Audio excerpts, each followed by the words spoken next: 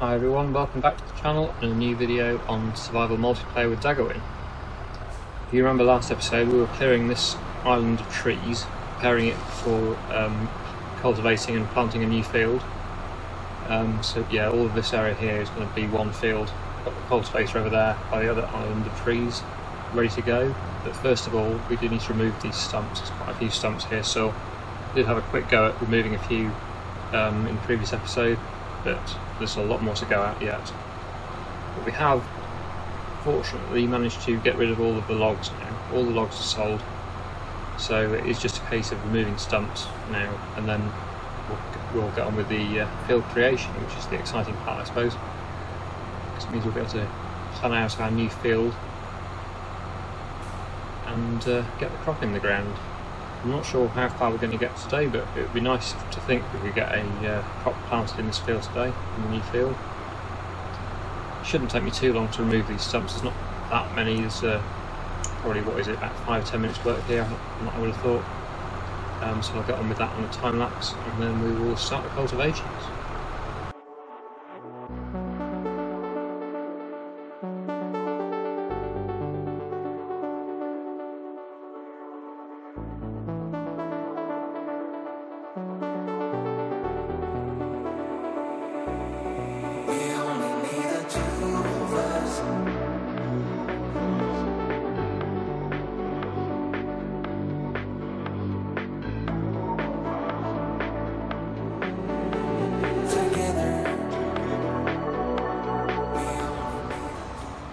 That didn't take quite as long as I thought. Uh, it took about four minutes, I think, to do that. Uh, I left the stump grinder there on the wheel weight, or the, or the front weight, sorry. Um, put them there just in case we have missed any stumps, and in case we do some more tree work in this area, which we probably will do. I think some of this island here might go at some point. Um, but not a priority right now because I want to get the uh, cultivating done now on this new area. So I'll start here, I think. I will leave a bit of a gap between this field and that field because uh, that one's obviously a different field. I don't want to join them up because that one's already big enough, I think. But we will now start cultivations in this area. So I've set it to uh, field creation now on the cultivator, and we'll just go around the uh, the outside of the field now, marking out exactly where we want to have the field and the shape.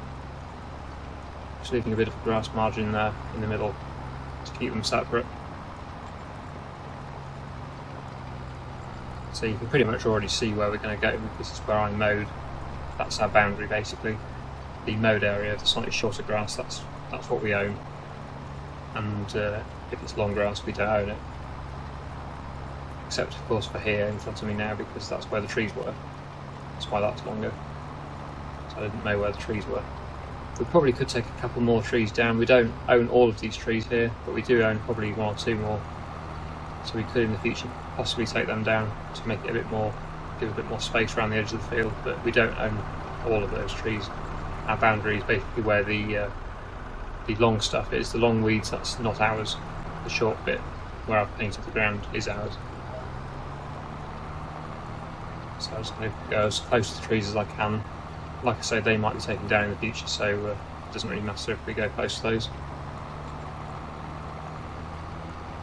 See where I painted this little bit here.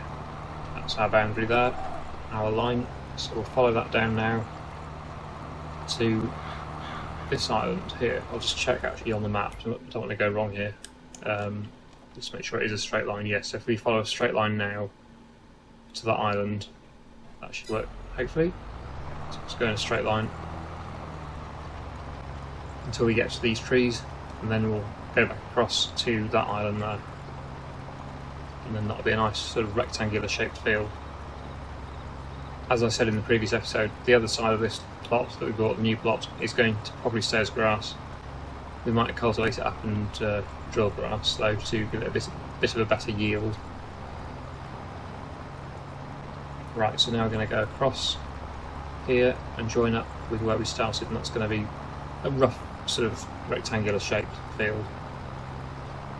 There's Dago Daggerwin, he's got the log trailer on again, so he must be doing some more logging.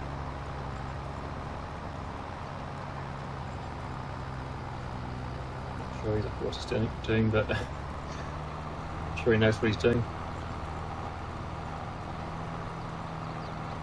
Right, and then, uh, yeah, so here we'll just follow this line round and join back up with where we started. And there we go, that's our, our new field. Will be the arable field.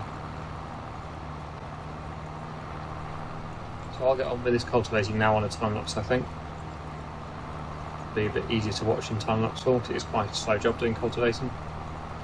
And uh, yeah, then we'll get, get drilled, I think. Or it'll need uh, soil sampling first, though, of course, and uh, lime spreading. So we don't want to forget to do that before we do start drilling.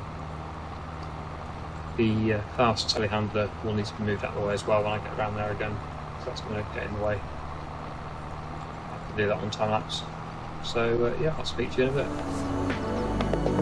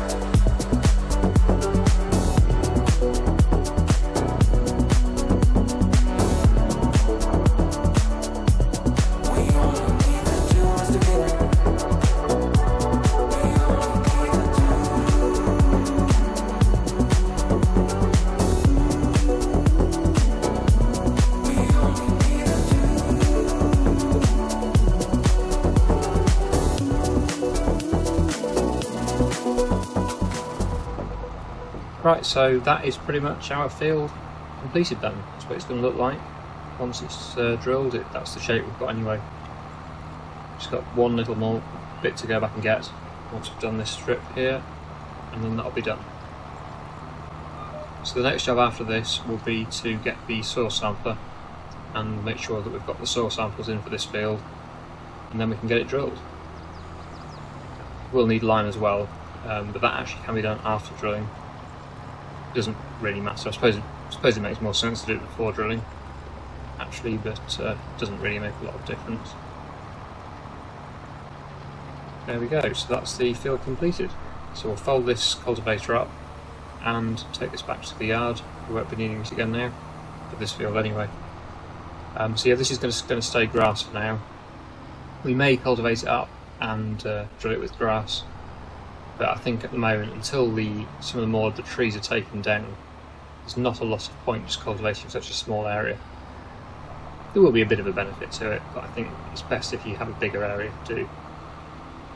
Also, it would be nice to extend this track now that we've uh, got a new route through to that new area, so we could put a track in there, like a little turning junction, and go around there. That'd be a bit better the Ford isn't getting used that much, so I'm thinking possibly in the future we could sell that and buy a more conventional tractor, reasonably high horsepower, medium or large tractor.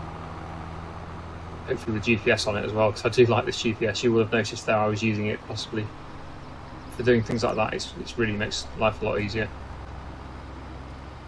Oh, here's Daggerwin. He's got the mower on, so he's probably going to mow this grass field again. The sheep are okay for hay at the moment, but it wouldn't hurt to do a bit more hay, possibly. But he'll probably do silage since we're coming up to uh, the best month for silage, which is about November, December time. I think he's probably been harvesting that field there. Yes, it has been harvested. Yeah, he's been doing that while I was doing this field.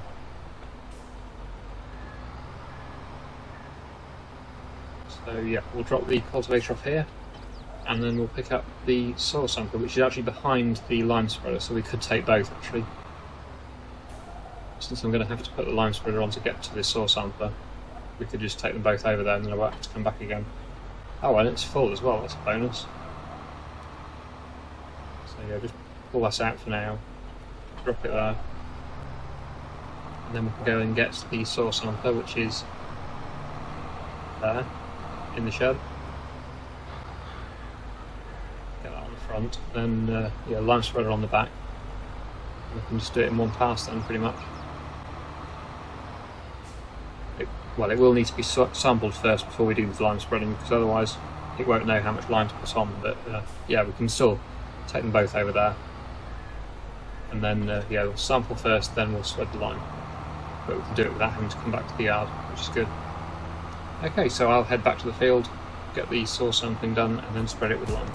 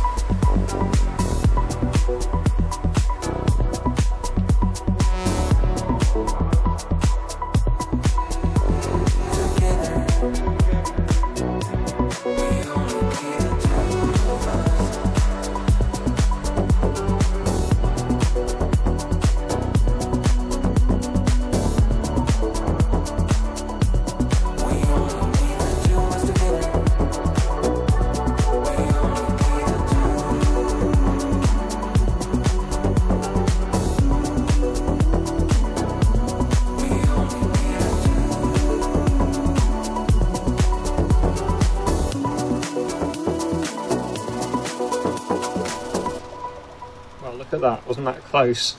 We're on 2% lime left, so we just about had enough to complete the field. That is amazing. I thought we were going to run out there, but we just about had enough. 2% left. Wow. It's one of the closest I think I've seen it, but at least we got it done. That's good. So it's now ready for planting. I think as it's already cultivated, it makes sense to plant it with a planter rather than the drill. Um, so we'll probably put sunflowers in there and that will go towards the oil mill to uh, make the mayonnaise, which hasn't been going on very much recently because we haven't got any oil. So uh, yeah, that'd be good. I've got one small field of sunflowers here, and maybe another one somewhere. Oh, I think Daggerwin might have drilled one last episode actually, on the hillside. Um, yeah, I think one of them is. So uh, yeah, we've got two fields of sunflowers, but it would, wouldn't hurt to have an extra one. The big one here is uh, corn, Daggerwin was talking about doing that as a silage field with a clamp, but uh, we don't have one at the moment. And a few people didn't really think it was a good idea. Uh, the mower's taken my position for this. I wonder if we can squeeze next to it. Not sure. It's going to be a bit tricky, I think. I'm coming from the wrong angle as well to come around here. Unless, oh, I should put it there, that's easier. I'll just put it in the shed here. A nice big gap for it.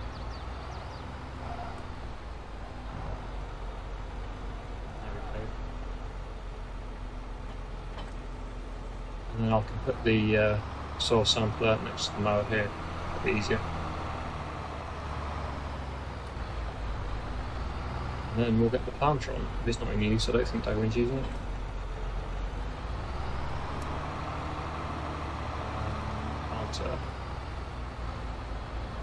But he put it around the back of this shed. He's still doing his mowing, or not mowing now, he's uh, raking. Yes, here we go. So we'll get the planter on. And then we will put that field into sunflowers, I think. Now it's got not much seed in it, so we might have to refill that. I think there is some in the yard that I just saw. Also fertiliser, I'm not sure if we've got any. We might have. Looks like it's just seed.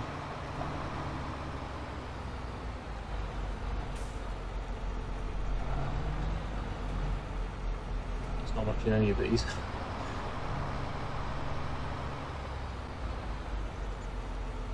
There we go. So we're full of seed, but we do need more fertiliser, so I'll have to go and get that from the shop. Doesn't look like there's any here.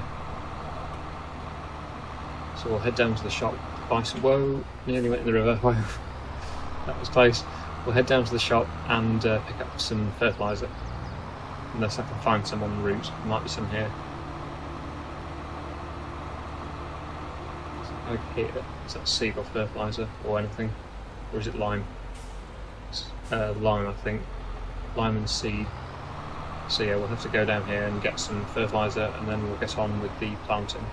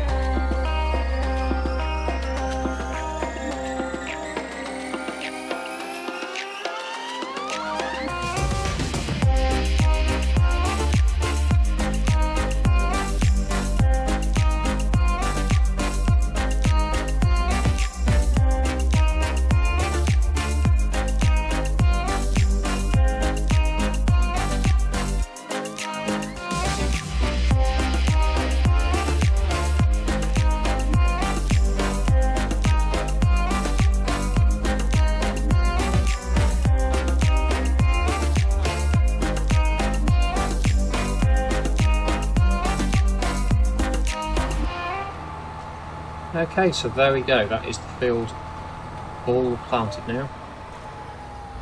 So uh, yeah, I'll take this back to the yard. We'll just need rolling. That's the last job. Bit of a boring job, I know, but it's got to be done really for the best yield. But yeah, at least it's got it's got the best uh, lime uh, pH level and um, fertilizer now, so that's good. Now there is this area here which I'm just tempted to make a little bit of a track through here because it's not very obvious that there's a, there's a gap here. I'm going to take this tree down. It's just a small tree so it can be done with a chainsaw. Well, all trees can be done with a chainsaw but we have our big log thing for doing the big stuff so uh, it doesn't really matter about just doing this little one with a chainsaw. And it's one that you can lift so I can move it to the side. Now we can make a bit of a track.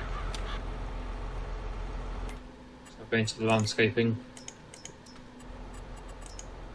and painting, gravel, and we'll make a bit of an opening here so that it's obvious that we can get through.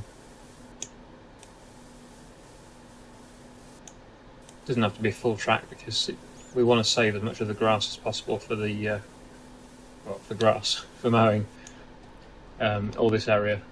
It needs to stay as grass because that's what we're going to cut, but I just wanted to make a bit of a sort of obvious way through, basically, an opening.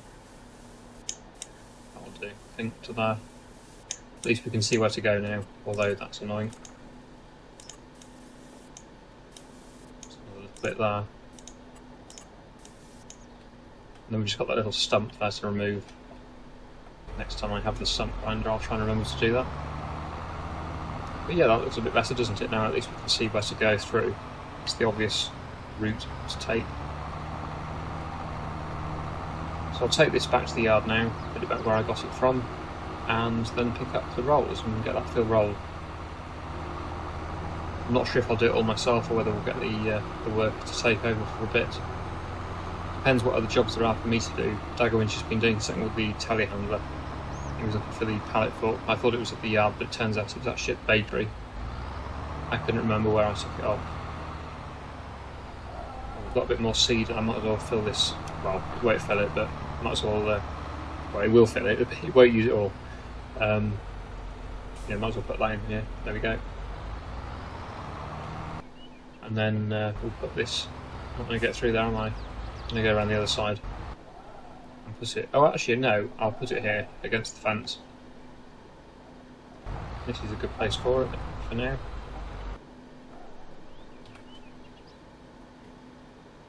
That'll do. And then we'll get the rolls, which are just right here. That's easy.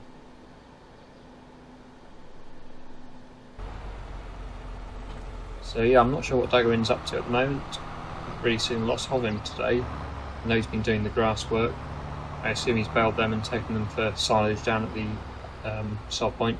He hasn't sold them yet though because the best price will be next month or December. Oh, he's over there. Look, with the uh, he's doing the lettuce pallets. And the eggs are certainly building up at the um, mayonnaise production.